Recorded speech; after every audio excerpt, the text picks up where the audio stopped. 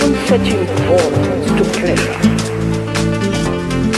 Why, man, throughout the world, has given this extraordinary importance to pleasure?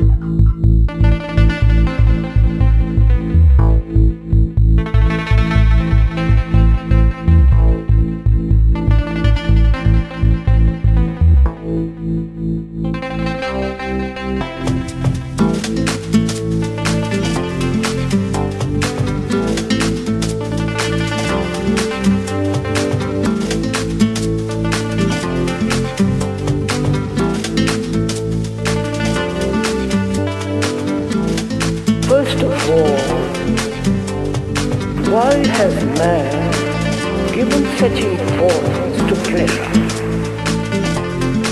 Why man throughout the world has given this extraordinary importance to pleasure? Why? Continuing, pursuing, everlasting